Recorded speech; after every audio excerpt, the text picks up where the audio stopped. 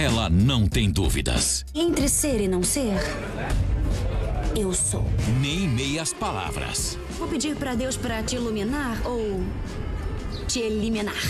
Porque ela sabe onde quer chegar e o caminho para conseguir o que mais deseja. Tendo você, Teresa, tenho tudo.